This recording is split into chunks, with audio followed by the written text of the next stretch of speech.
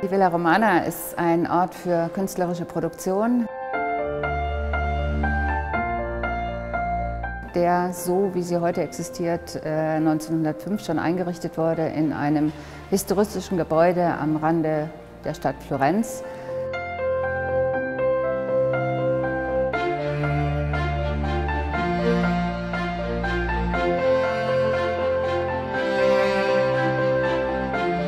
Sie wurde gegründet von Max Klinger und einem Freundeskreis von Künstlern, Förderern. Äh, zeitgleich wurde ein gemeinnütziger Verein eingerichtet, der auch bis heute noch die Villa Romana unterhält und auch den Villa Romana Preis vergibt.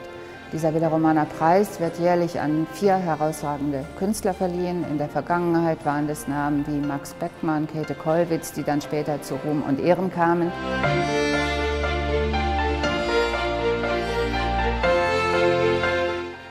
In der Villa Romana sind wir vier Preisträger. Wir arbeiten alle und wohnen in diesem Haus zusammen, zehn Minuten außerhalb von Florenz für das zehn Monate, von Februar bis Ende November.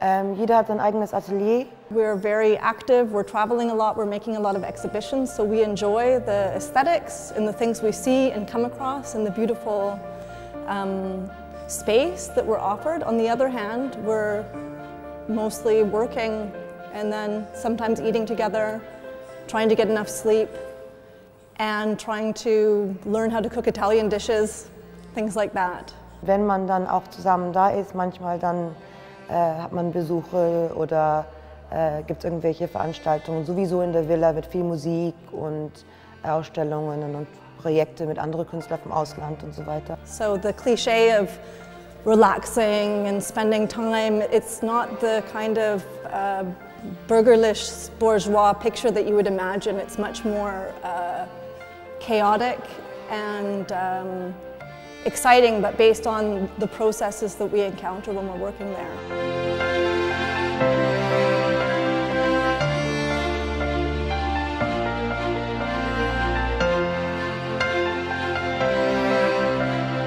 Die Ausstellung Villa Romana, das Künstlerhaus in Florenz, gibt einen Querschnitt mit ca. 80 Arbeiten durch 100 Jahre Kunstgeschichte.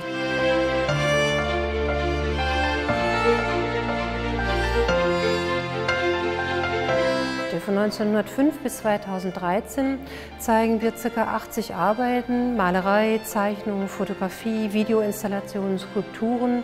Das heißt, diese Ausstellung gibt sowohl einen Einblick in, in verschiedene künstlerische Haltungen als auch eben in die Kunstgeschichte von über 100 Jahren.